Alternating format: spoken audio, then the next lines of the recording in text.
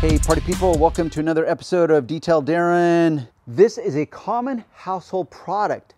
Often people will default to it to wash their car. The question then becomes, will it actually damage your car paint? There's many opinions out there. As many opinions that are in favor of the soap, you will find just as many opinions that are not in favor because they say it will damage your car paint.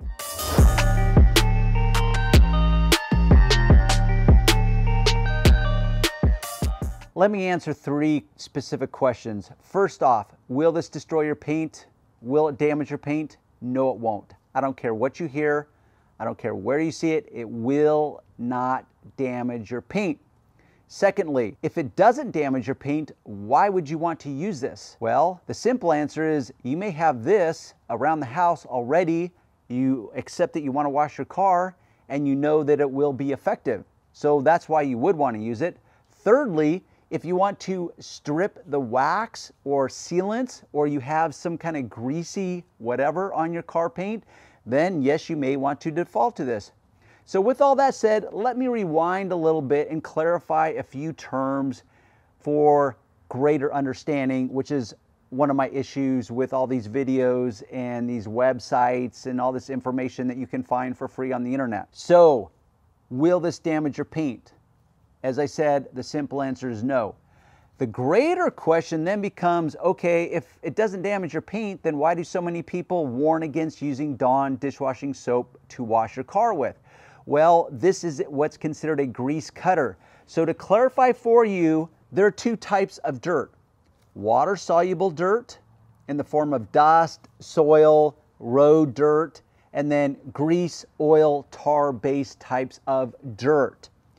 This is a grease cutter. That's why it's very effective when you're washing your dishes in your house because much of the food that you consume is going to have healthy amounts of oils and grease in them. So if you try to wash your dishes with a soap that is not considered a grease cutter, it's not going to prove to be very effective. Now you bring it out into the driveway. Now you want to wash your car. Well, that's where you need to understand that most of the dirt that you will find on your car is essentially water soluble dirt in the form of normal dirt, traditional dirt, or dust.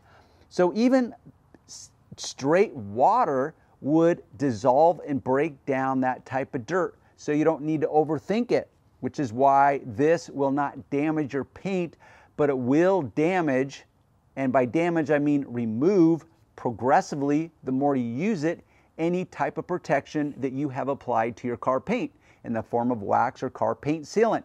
That's where the confusion lies. That's why people will often embellish or make something that's this small into something that big, over dramatize it, and say, oh my gosh, don't use Dawn dishwashing soap on your car because it's going to damage it.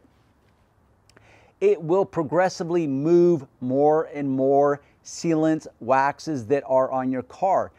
So if you were to use this repeatedly on your hands, let's say a hundred times, you would find that it would pretty severely dry out your hands. Well, if you apply that same concept to your car paint, it will continue to dry it out. And by drying it out, I mean remove any form of protection whatsoever on it.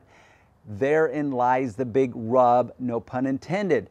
That would be the reason you would not want to use this. If you want to retain any form of protection on your car paint, do not default to this. But like I said, you may want to for whatever reason. Maybe you have some tree sap, pollen, whatever that your traditional dedicated car wash shampoo does not seem to be effective with. So you could default to something like this. really clean your car, as in remove the dirt and remove any type of grease, oil based products with the understanding that you will need to apply some form of protection following your car wash duties. Third, why else would you possibly want to use Dawn dishwashing soap?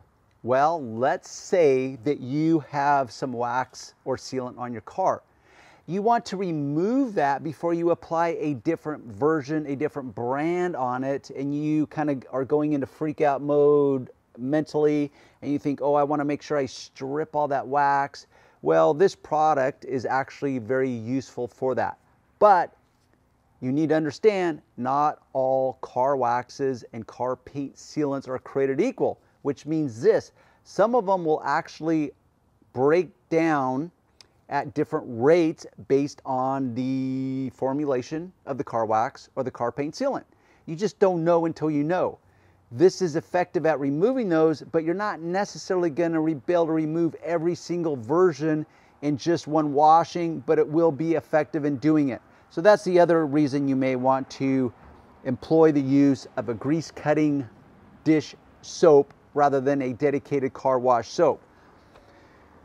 But the rule is this when it comes to washing your car, if you accept that the bulk of the dirt is water soluble, you don't need to overthink it with some type of grease cutting formulation. What you're going to be more concerned about is dedicated car wash soaps. They're dedicated for your car because most of them just contain fragrances and colors that are very appealing to the senses, but they, they have lubricants in them. Lubricants in the form of silicon, silicones or whatever else they put in those formulations that will help lubricate the dirt, encapsulate the dirt so that the washing experience is more friendly to your car paint rather than less friendly. They're not going to have surfactants that have grease cutters in them. So that's where the trade off is, but you just need to understand the differences. Am I really washing my car because it just has traditional dirt on it? Therefore, I don't need to overthink it. Therefore, you can default to a dedicated car wash shampoo. Or, in fact, is there some wax or sealants that I want to remove? Is there some grease or road tar that I want to remove? That's where you would default to something like this. So with that said, I will end there. You can leave me comments below. Let me know what you think. Hopefully I've clarified some bad information that you may have heard and I will end this. It's not going to destroy your car paint. I don't care what anyone says. Yes, you could argue it's going to progressively dry out your clear coat, the more you use it, the more frequently you use it. I would agree with that, but that's the debate that you guys can have and engage with me in the comments below. With that said, I will see you in the very next video.